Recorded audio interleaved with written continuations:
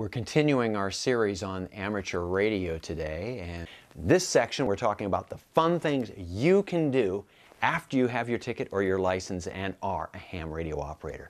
I think there are seven or eight of them, so let's start right now listing them. First one is DXing. You can communicate with people anywhere on the planet. That's what it means, foreign country communications. The bands that you typically use are the 10 to 160 meter frequency range. And you can communicate with them. Obviously, you get to learn your language skills a little bit as well. Sometimes the bands are up, sometimes they're down. Secondly, emergency and disaster communication.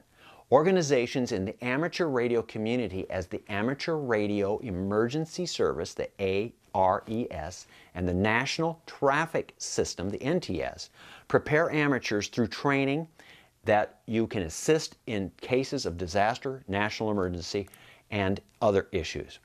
The third piece is just technical goofing around and experimenting.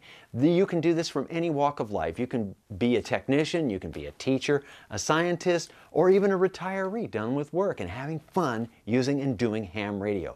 This is probably the main attraction to the hobby for most. It was for me, and hopefully it is. You can make just a simple antenna to as complex as making a transmitter like this. Or you can hook up communications between this and your computer. A fourth thing is contesting.